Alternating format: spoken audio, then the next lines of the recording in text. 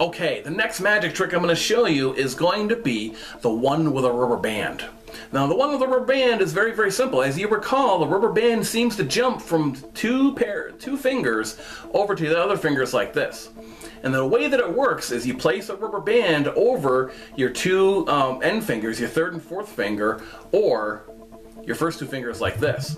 And then you pull the rubber band tight, uh, you pull it out like this, and then you make sure all four fingers go inside the rubber band. But you don't let the audience see this part. All they see is this. And then when you move your four fingers up, it causes the rubber band to jump from these two fingers or to these two fingers, or from these over to here.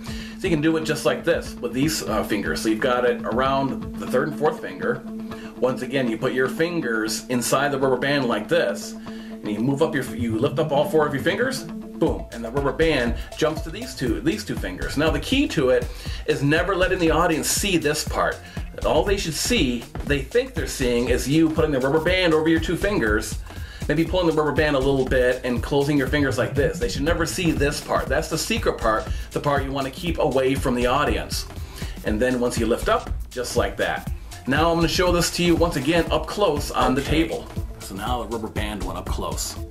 You start off a rubber band around any two fingers that are next to each other. Could be these two, could be these two.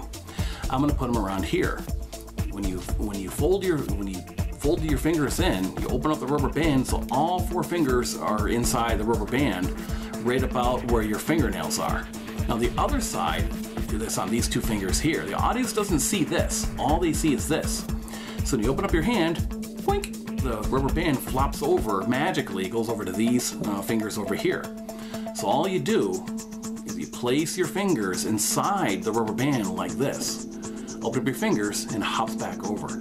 But never let your audience see this part right here. Only let them see this part. Open up your hand, flips over just like that. Very, very cool.